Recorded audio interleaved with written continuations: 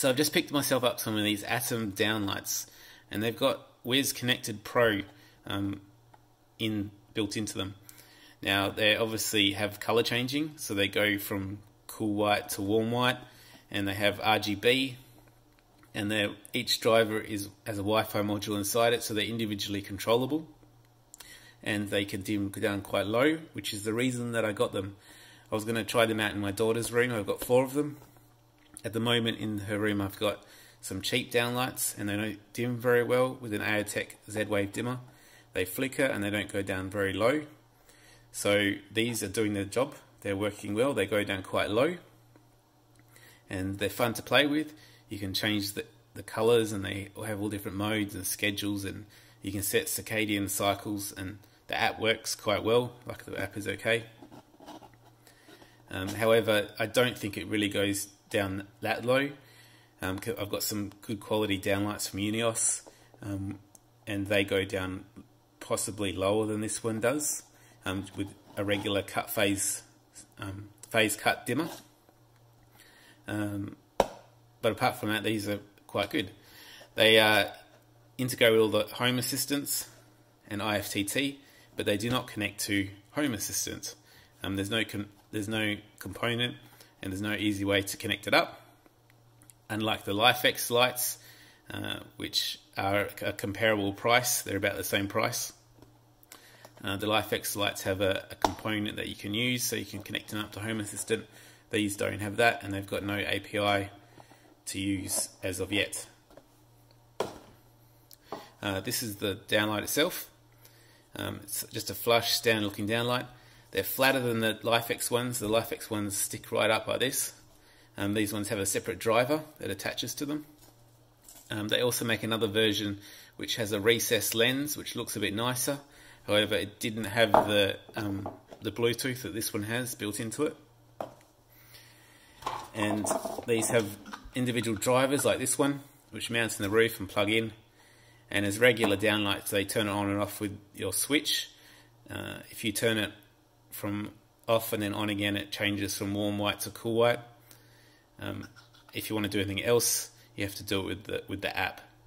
The only problem I've found is that that sometimes one light won't come on or one light is won't change, and then it sort of catches up and it adjusts itself.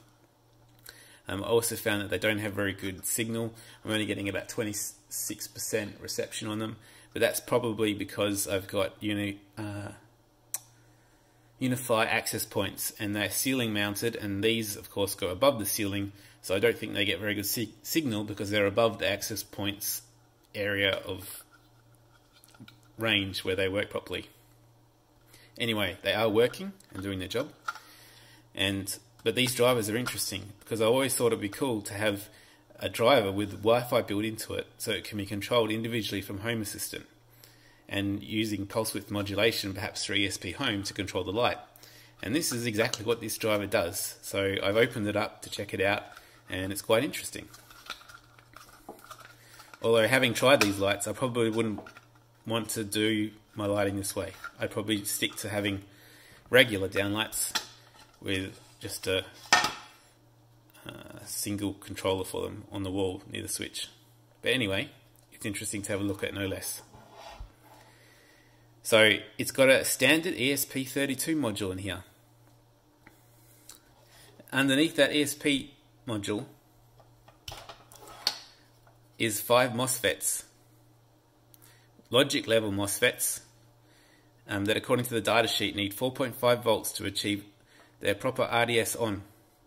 And as you most would know, these only put out a 3.3 volt PWM signal.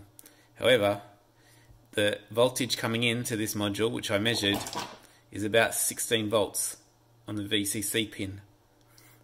So there's probably something going on on this on this board here, perhaps, that is putting out a voltage higher than 3.3 volts PWM.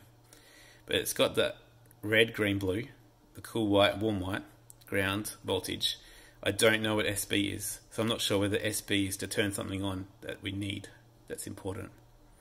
However, I would like to try flashing this with ESP Home to see if perhaps you can just set it up in Home Assistant and control the light this way because that would be pretty cool. The Only problem is it's a rather expensive way of controlling one downlight at around about $80. Anyway, interesting to check out. So that's the light, the Atom light fitting.